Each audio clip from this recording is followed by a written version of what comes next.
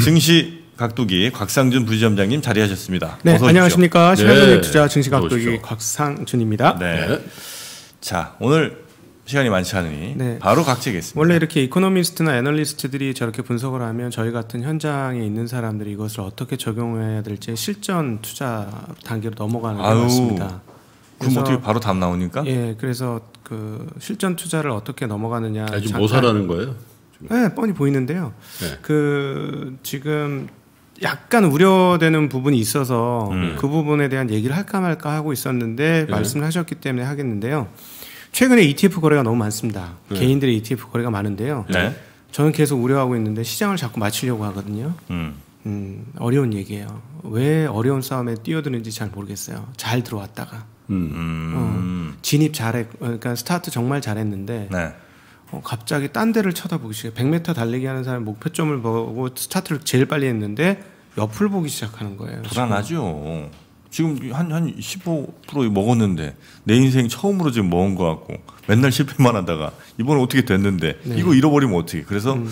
아, 전문가들이 운영하면 좀 날래나? 뭐 이러면서 아, 어, 개인 어제 그 친구하고도 논의를 해봤는데 개인들이 이렇게 오다가는 걱정이 되는 게 ETF 뭐 인버스하고 막 이런 걸 보니까 네. 아 중간에 이제 또 길을 잃고 엄청나게 헤매게 되겠구나. 근데 그러면 증권회사들은 왜 지금 없어졌지? 사실 전 그렇게 생각해요. 저도 증권회사에 있었, 있지만 음. 브릿지가 다 끊어져 버린 거예요. 개인들이 이렇게까지 돈을 많이 들고 이 직접 투자를 하는 것은 음.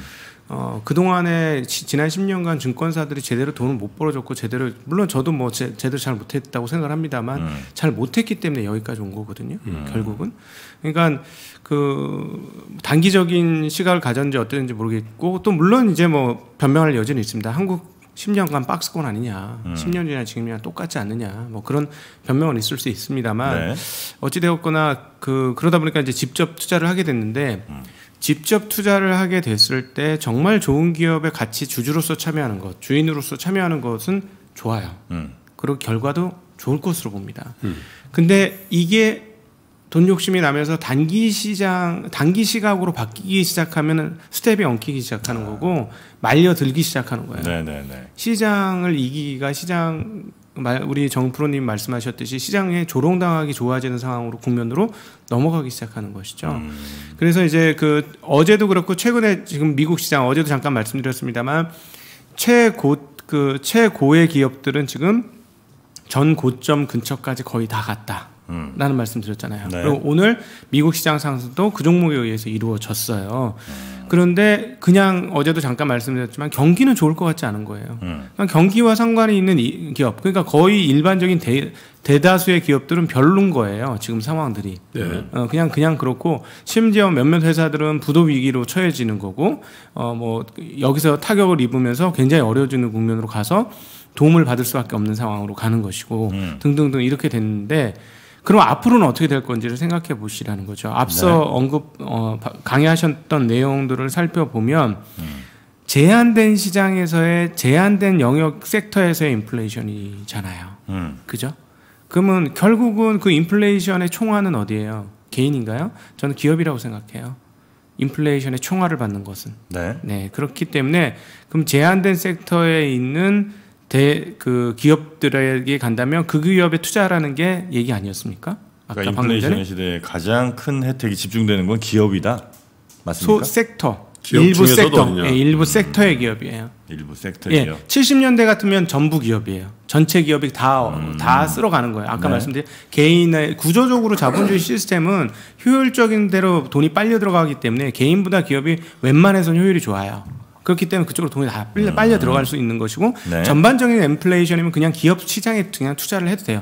이 지금 같은 인덱스도 나쁘진 않습니다. 그러니까 투자를 하면 되는데 지금 같은 경우는 그렇지 않을 거라는 얘기잖아요. 그렇죠? 섹터별로 갈 거니까 그 섹터에 남아 있는 기업 들이 더 수혜를 입을 거라는 거죠. 그래서 전체 기업을 다 투자해서는 안 되고 그런 쪽으로 가서 아까도 저도 어, 이거 좀 이상하다 이상한데 아까 니프티 피프티 말씀을 하셨는데 그 당시에 정말 몇몇 기업만 가고 남들은 하나도 막못 갔거든요. 음. 근데 그러니까 이런 흐름들이 있- 있는 게 지금의 미국 시장이에요. 네. 지금이 그래서 사실 가격적으로 판단하기에는 되게 어려요. 그리고 미국은 가격이 또 좀 비싸요. 음. 전반적으로. 그래서 그런 불안함이 있는 거예요. 어, 그거 있고. 그러면 저는 저희는 이제 저는 주로 이제 한국 시- 미국 시장을 정리를 해드렸습니다만 투자에 관해서 한국 시장 말씀드렸으니까 네. 개인 투자자들이 여기서 그 끼- 저기 실패하지 않고 갈 수 있는 가장 좋은 방법은 뭐냐면 오랫동안 믿을 수 있었고 앞으로도 믿을 수 있는 기업들에 투자를 하는 게 맞을 것 같다라고 생각 들고요. 아. 그리고 이 업황이 살아있는 쪽에 그런 튼실한 기업으로 가시는 게 우량한 기업에 가시는 게 맞지 않을까 싶습니다. 자, 네. 살아있, 살아있는 업황은 5G, 언택트 뭐 이런 거죠? 좀 더 큰 기업으로 가셔야 돼요. 네, 언택트는 맞는데요. 음. 네, 그리고 이제 언택트의 총화가 어떻게 흘러갈 것인지도 한번 생각해 보셔야 돼요.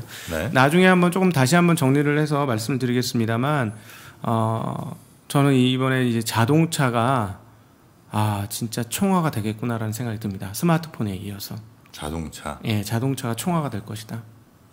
예, 기가 막힌 그 소위 말하는 우리가 4차 산업혁명이라고 표현하는 것의 네. 완성 단계에서 이 우리가 자동차를 만나게 될 것이다. 아, 라는 음. 생각이 많이 들어요. 그건 나중에 정리해서 네. 말씀드리도록 하고 어, 짧은 시간에 이제 미국 정리하도록 하겠습니다. 미국 시장을 간단하게 정리를 해드리면 네.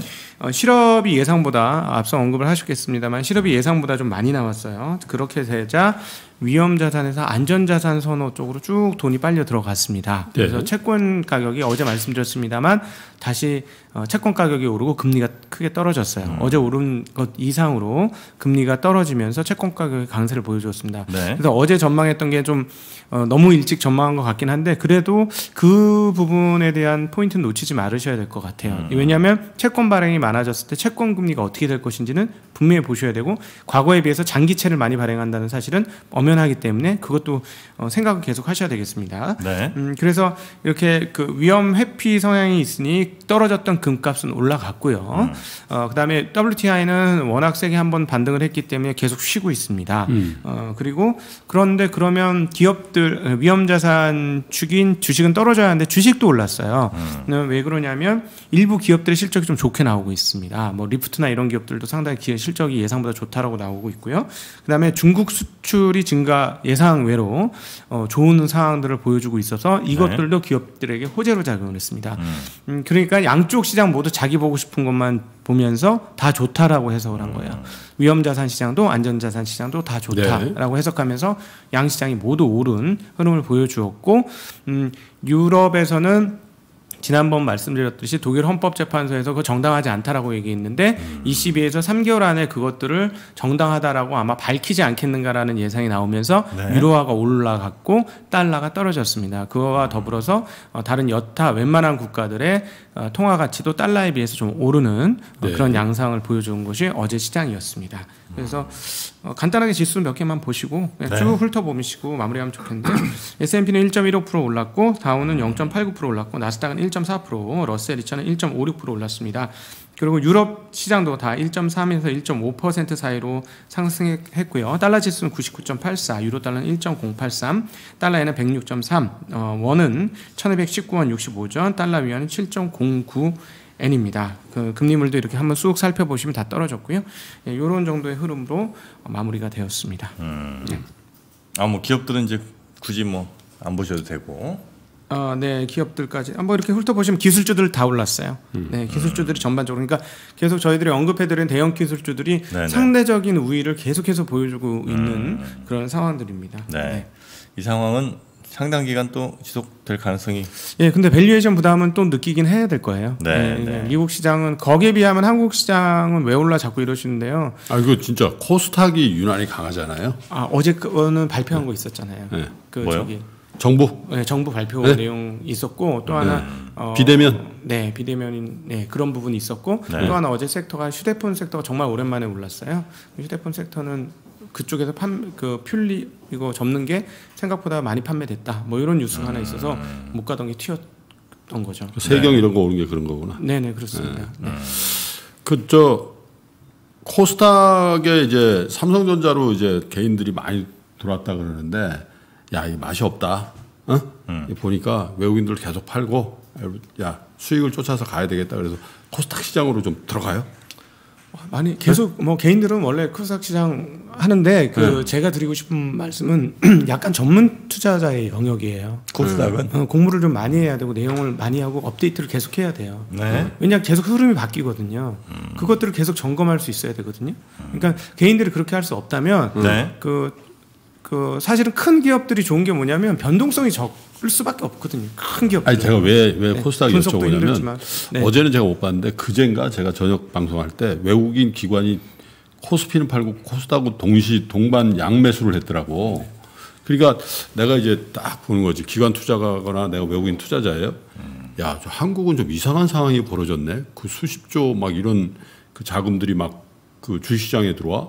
아, 저거는 삼성전자 사는 것 같지만 어쩔 수 없이 여기 많이 빠진 뭐 IT 섹터나 뭐또 괜찮다는 바이오 이런 거 사게 될 거야. 네. 내가 안 주면 저거 올라가지. 그런 생각 할 거 아니에요? 그래서 수급상 코스닥이 코스피에 비해서 계속 좋아지는, 네? 그 대답 좀 한번 해보세요. 감사합니다. 아, 가보겠습니다. 안녕하세요. 아. 네. 자신이 없나 봐. 아, 아마도 아, 그 외국인들과 기관이 이렇게 들어온 거는 충분히 수구에서 내가 영향을 미칠 수 있다. 그런 판단으로 들어온 것 같다. 아니, 개인 투자자들의 그 매수세라든지 어떤 고객 예탁금이나 이런 것들이 네. 딱 봐도 만만치 않거든. 거기로 장이 빠질 때마다 들어오고 그러니까 네. 아 돈은 수익을 쫓아서 움직이겠지.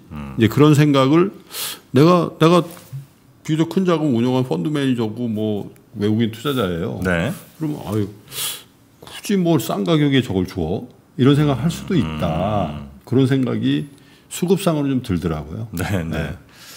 아, 우리 김프로님의 방금 모습이 좀 애처로웠어요? 애처로. 애처로웠어요? 어디가? 어떻게 어떻게 해서 바지가랑이라도 잡는?